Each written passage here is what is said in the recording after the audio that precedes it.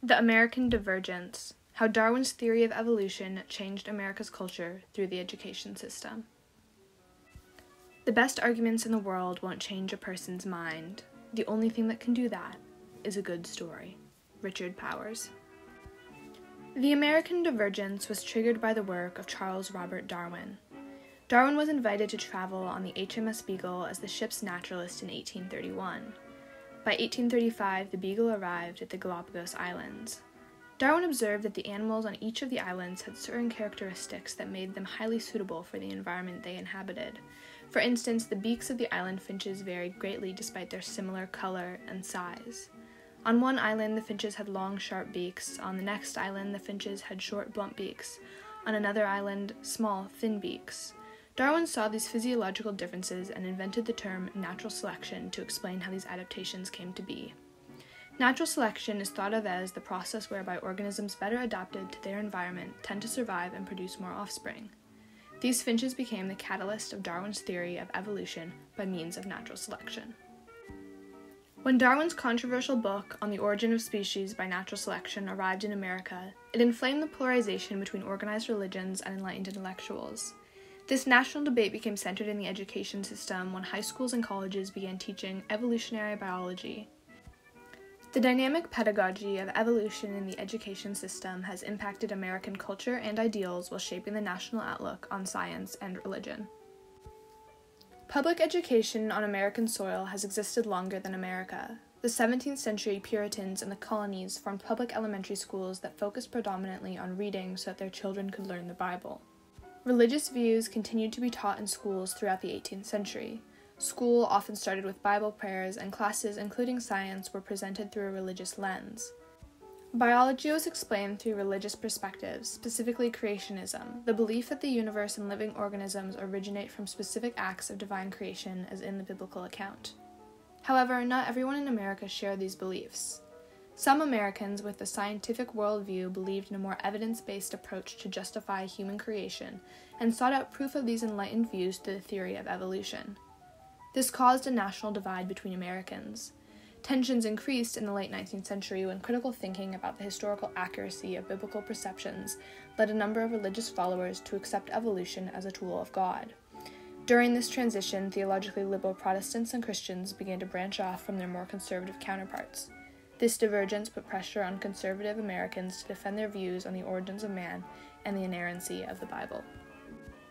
The evolution debate was officially ignited in the early 1920s after child labor and education laws were passed, quadrupling the number of children enrolled in high school from 1900 to 1920 with over 2 million high school attendees who were going to be taught evolutionary biology.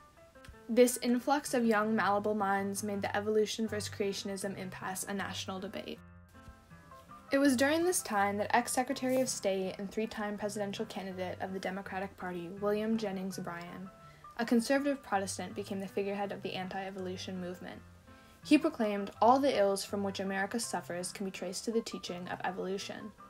Copies of his speeches debating and debunking evolutionary claims were delivered to Tennessee legislator Representative John Butler, who introduced the Butler Bill to the Tennessee House of Representatives on January 21, 1925.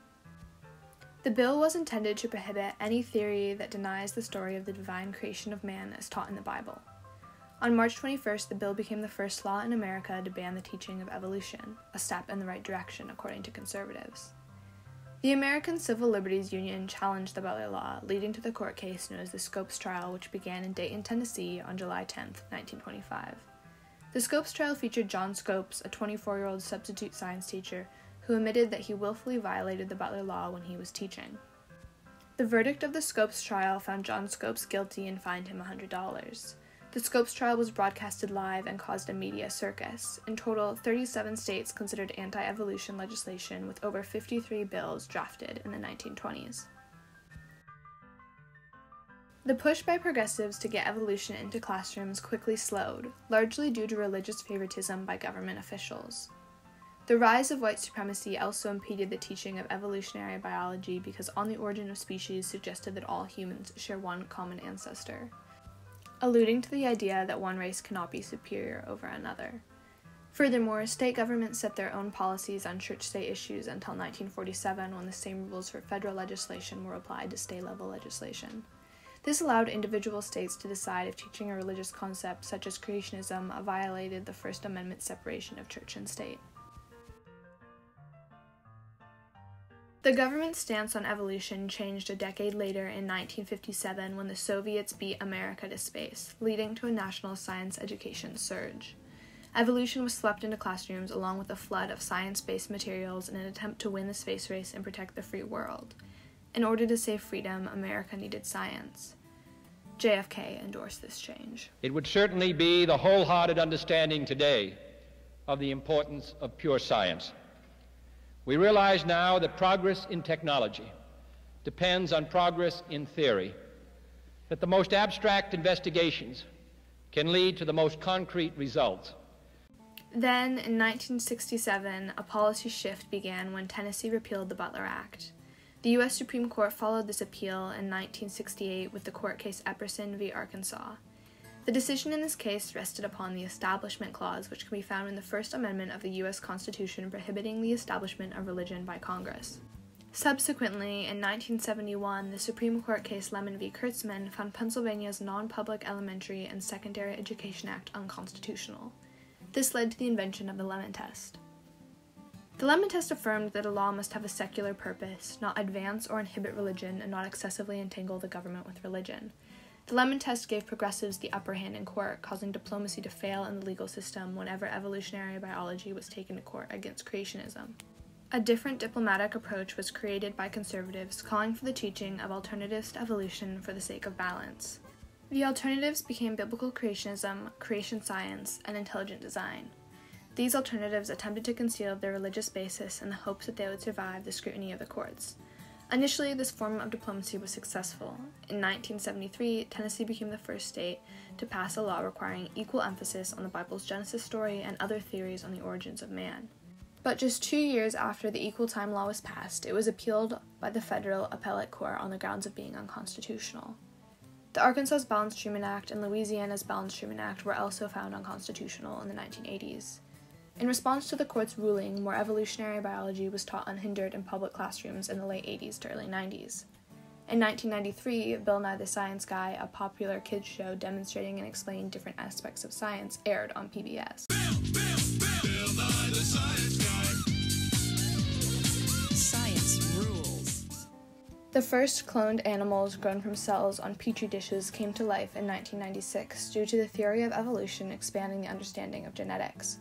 By the turn of the century, the theory of evolution was accepted by the majority of Americans. A Gallup study found the percentage of Americans who reported belonging to a church, synagogue, or mosque an all time low in 2018, averaging 50%, with a high number of that 50% believing in evolution as a tool of God. Now, in 2022, Darwin's theory of evolution serves as an axiom upon which branches of science have developed. Despite continued opposition from religious conservatives, Darwin's theory has influenced the creation of powerful genetic tools such as CRISPR, a genome editing tool, along with more everyday life applications such as video games with codes that adapt with every move the player makes, and the GMO produce at the grocery store.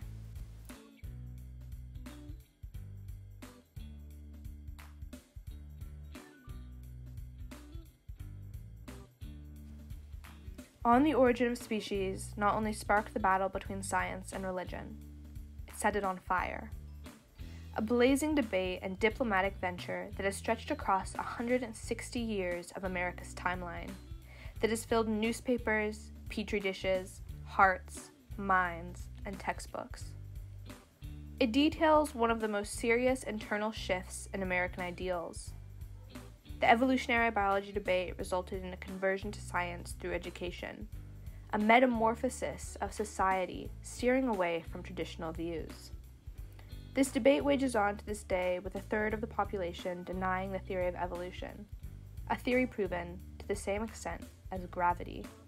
The tactics and schemes employed by organized religions and enlightened intellectuals in this debate evolved themselves, changing and adapting to survive to tell the better origin story, to overcome the hostile environment of America, to enter the education system, and to change the world.